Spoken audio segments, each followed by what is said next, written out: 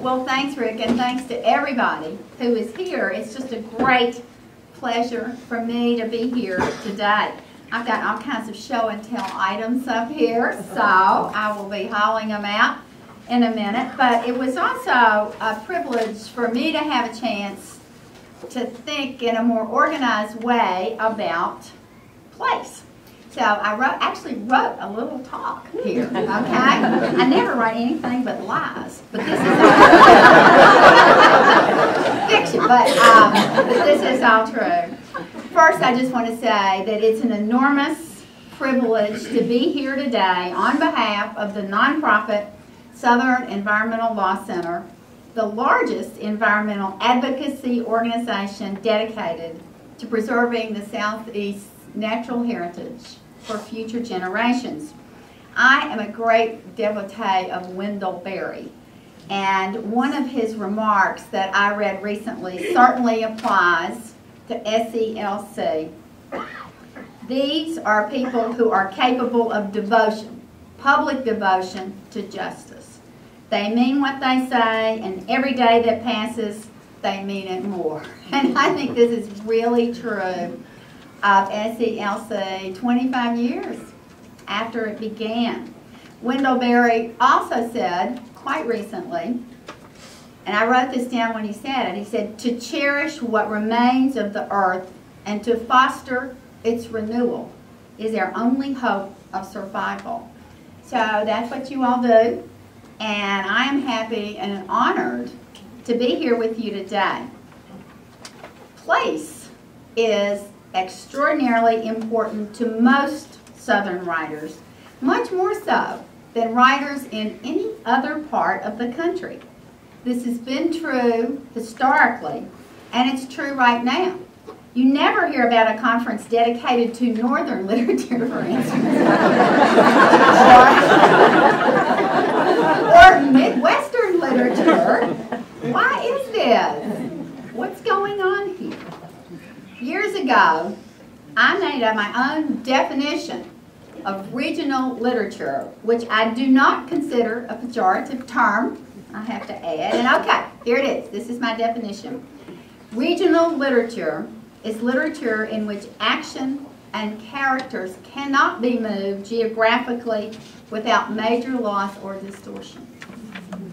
There is an intimate identification with landscape setting is so important that it often defines the lives and possibilities of its characters.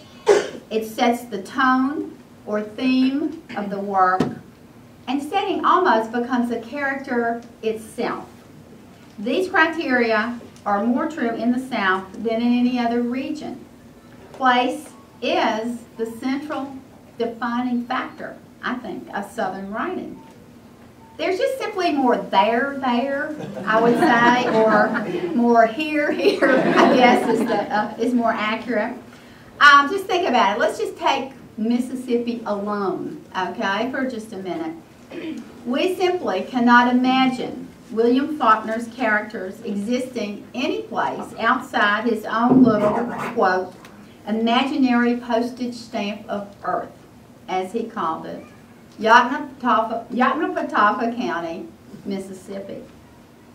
Nor could Larry Brown's rawer Mississippi fiction, which was written several decades later and gave rise to the wonderful term grit lit, make, nor could his characters make their hard scrabble livings any place other than his own rough South. Eudora Welty's mythic Mississippi offers us another version, as do Elizabeth Spencer's more genteel Delta stories, Walker Percy's quietly despairing existential novels, and Barry Hannah's uproarious, darkly comic tales. Clearly, I could go on and on, even you know about Mississippi, and I can extend my examples to any other state, to Ernest Gaines's Louisiana, for instance, or Peter Taylor's Middle Tennessee, or even Peter Taylor's Charlottesville.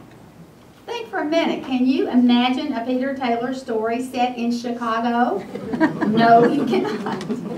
Nor could Flannery O'Connor, have sprung forth from any soil other than the mean red dirt of small town Georgia, it seems to me. Even now, in our ever increasing communication, our age of ever increasing communication and urbanization, with the kind of standardizing created by television and the internet. So that a mall, for instance, in Danville, Virginia, has the exact same stores as a mall in Flint, Michigan, or Anniston, Alabama, or anywhere else. There's still more here, here, in terms of the fine writing which continues to come out of the South. Personally, I've always felt, in terms of writing, that the difference never was between North and South anyway, but between an essentially urban culture and an essentially rural culture. That is, between the country, the natural world, the small town and the little community versus the built environment, the city and its suburbs and its ubiquitous urban sprawl. Except for the accent. There's not much difference between the rural Maine village of Elizabeth Strout's wonderful book Olive Kitteridge, for instance, and Wendell Berry's Port Royal, Kentucky, or Alice Munro's rural Canada. I mean, it is a mindset. It is a way of seeing the world. It is a kind of storytelling that happens in a human voice, I will say, too. Not abstraction, not it's not abstract, it's not, it's thematic, it's based on characters, it's based on a certain, there's a certain kind of storytelling. Um, my daddy is quoted up there on that uh, first poster. He, I used to try to get him to leave Grundy and come down and retire to Chapel Hill, but he never retired. He ran his dime store for 55 years and wouldn't leave. He said, honey, I could never leave the mountains.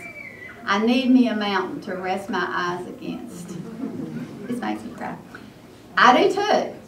I was lucky enough to grow up in the small mining town of Grundy in Buchanan County, as far southwest as you can go and still be here in Virginia, where the landscape is pretty much perpendicular. I always felt comforted by the ring of mountains which nestle their hand I mean, nestle their town, as an old woman once told me, she said, like a play pretty catched in the hand of God. right? But I mean, the mountains was like being down in a bowl. Um, it was 19 miles over the mountain into West Virginia, 15 miles down the river to Pikeville, Kentucky. Our house sat right on Route 460, the only way in or out of Grundy. The Levisa River ran back of the house with the railroad on its other side, carrying Norfolk and Western trains loaded with coal. How I loved the mournful whistle of those trains as they roared past several times a day. I stood there on the riverbank every time we'd run out when the train was coming. I stood there on the riverbank watching them pass, wondering where they were going. We didn't go anywhere much. We ran the mountains like little animals, me and my cousins and all the other kids in Cowtown, as our stretch of Route 460 was called, enjoying a kind of freedom which would be hard to imagine today. Climbing trees and cliffs, playing in caves, swinging on grapevines, catching salamanders, damming up the creek, building lean-tos, and lookouts, playing Indians and settlers with their handmade slingshots and the occasional Christmas bow and arrow set. Every day after school, we'd throw down our books and literally head for the hills. We'd stay there until they rang the big bell to call us home. Once back in my own front yard, I spent a lot of time there sitting under a giant cluster of forsythia bushes which I call the dog bushes because I had an endless series of family pets under there with me. My um, Pekingese Misty and our boxer Queenie come to mind, along with an entire town full of imaginary friends. I was an only child. so I had a lot of imaginary friends. My two best friends in the dog bush town were named Sylvia and Vaini, named for my favorite food, the Vaini sausage.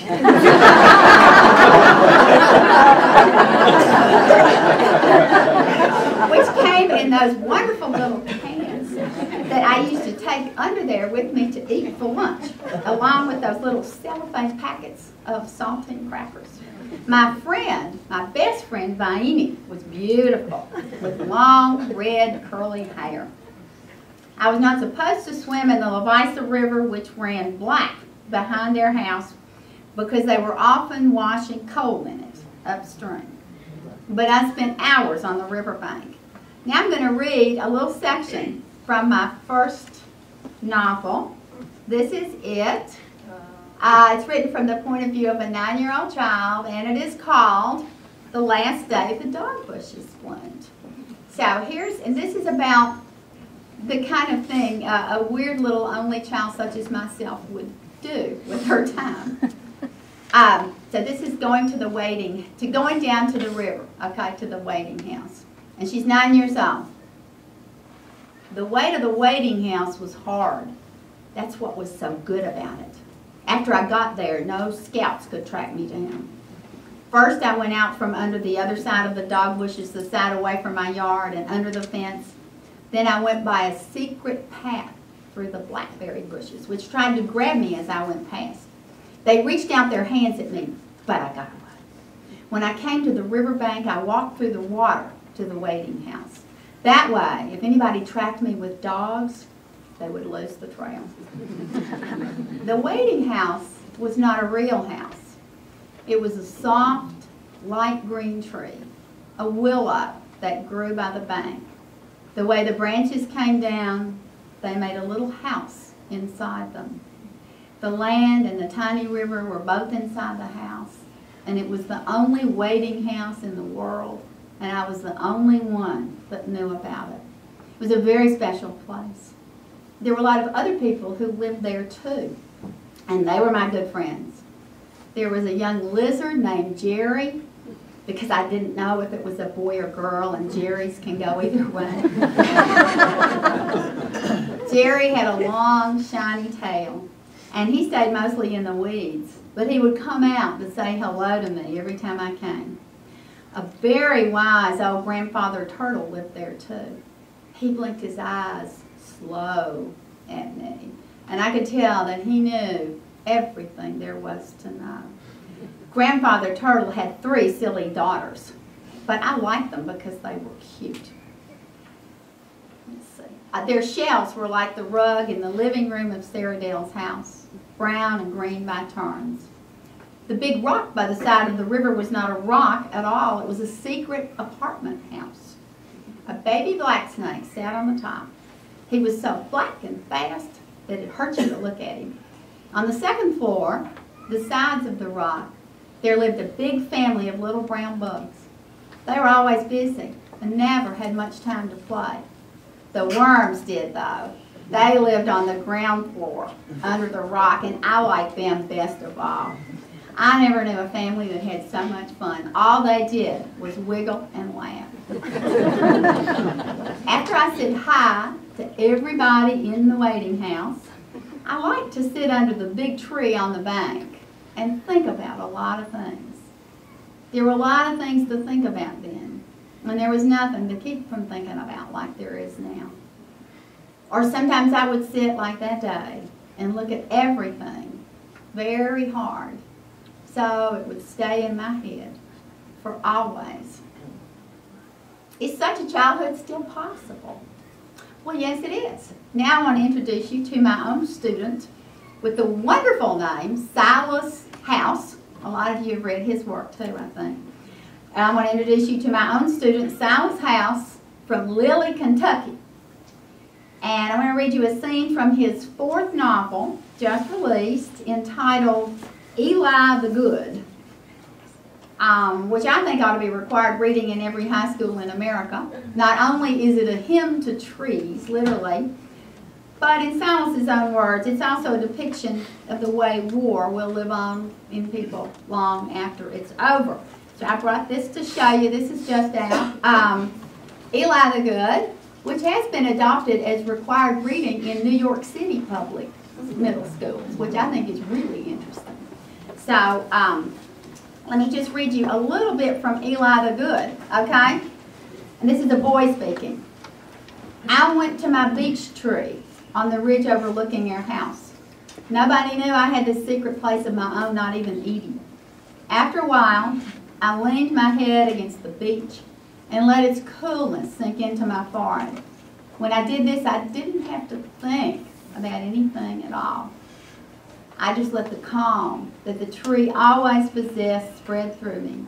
And for a brief time, I had no thoughts of my father killing a man, or of a war I didn't understand, or of anything else.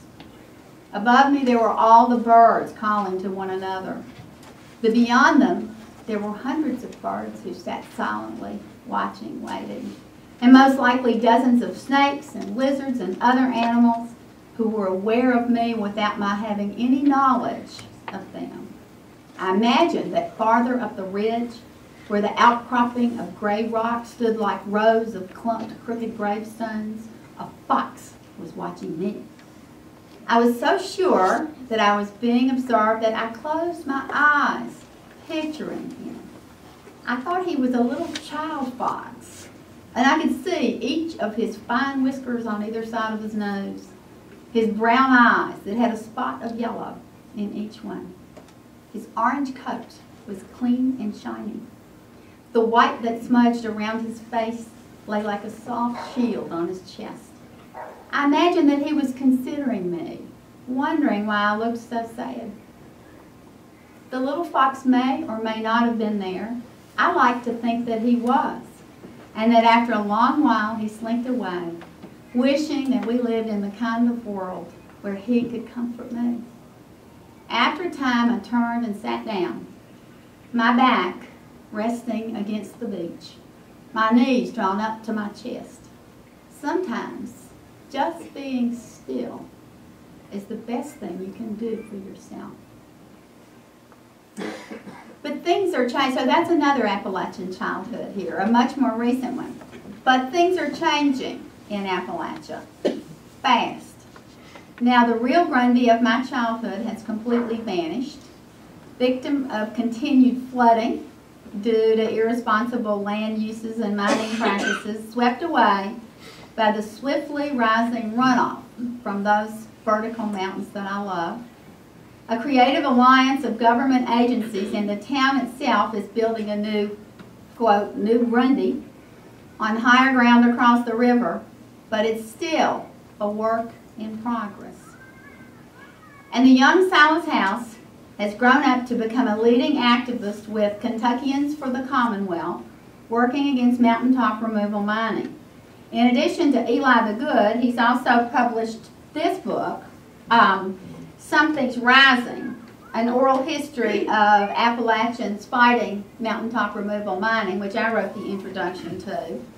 Um, and I want you to listen for just a second and contrast the idyllic visions of Appalachian childhood you just we've just read with Judy Bonds' account in this book, her oral history, of taking her grandson out to play in the creek behind her house where he found, quote, this white gooey stuff in the bottom, polyacrylamide.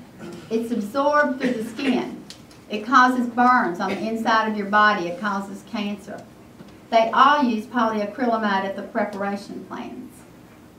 Judy also tells us that, quote, the kids here are sleeping fully clothed at night, plotting out escape routes, just waiting for the next Buffalo Creek. To my mind, this mountaintop removal mining practice is, uh, is a national emergency. And there's a way in which I feel that we all live downstream.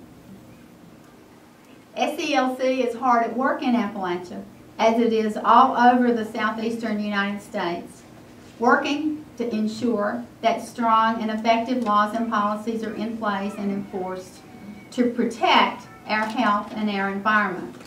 Right now, SELC is taking action in multiple ways to try to stop mountaintop removal mining in Virginia and Tennessee. Lots of groups are involved in this fight. but SELC has the unique advantage of having the resources to actually take on the challenge of weaning the South from coal as a primary energy source for electricity. SELC's 2008 victory in the U.S. Supreme Court is causing right now the largest cleanup of existing old dirty power plants in history. And they're also knocking out new proposed coal-fired power plants left and right. This means mountain, less mountaintop removal mining, less air pollution, and less global warming emissions. Remember what my daddy said about needing a mountain to rest his eyes against? This year, SELC was instrumental in the passage of the Virginia Ridge and Valley Act, historic legislation passed by Congress which permanently protects 53,000 acres of national forest land in the Jefferson National Forest. These are mountains in southwest Virginia, very close to Grundy. So wherever you are from, wherever you live in the South, SELC is doing something to protect the land and the environment you love too. We have to do this for our children and our grandchildren and for all future writers to come. I wonder, will any of them associate the word Twitter with birdsong? or only with their cell phones? So many young people today are already geared to a screen and to the changing electronic image. I would like to see them turn off these machines and go out into the woods and spend time in silence in nature. I think there's nothing like it, but we're losing it. And we're losing the capacity for a certain kind of thought. We need to get young people to slow down and listen and look but we have to make sure there's something for them to look at and listen to, don't we? We could not have become the writers we have been without it, without the twitter of birds, without the running creek, without the waiting houses and special trees, without the wild places. Listen to what Barbara Kingsolver has to say about it. Quote, a world is looking over my shoulder as I write these words. My censors are bobcats and mountains. I have places from which I tell my stories. So do you, I expect. We sing the song of our home because we are animals. And an animal is no better or wiser or safer than its habitat and its food chain. Among the greatest of all gifts is to know our place. I write about people, but I'm a writer who grew up among trees. My stories explore that mystery, the intimate relation of human passion and human place. I'm a writer so tied to place that I cannot even imagine a story. I can't begin to write a story, a novel, or anything without drawing a map of it first. For instance, um, this is a novel I wrote, Oral History, and first I had to draw this map.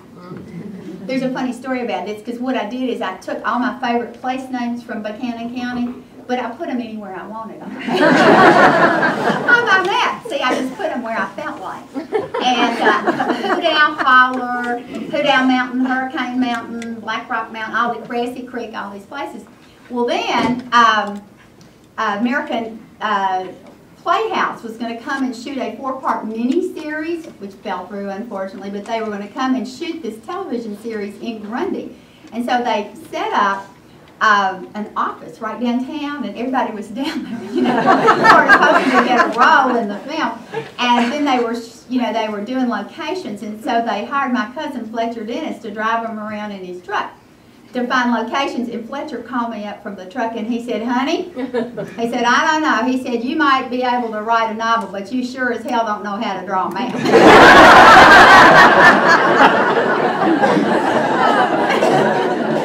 but unfortunately, that, that did fall through and we never did get the four-part miniseries. It's PBS American Playhouse was who it was.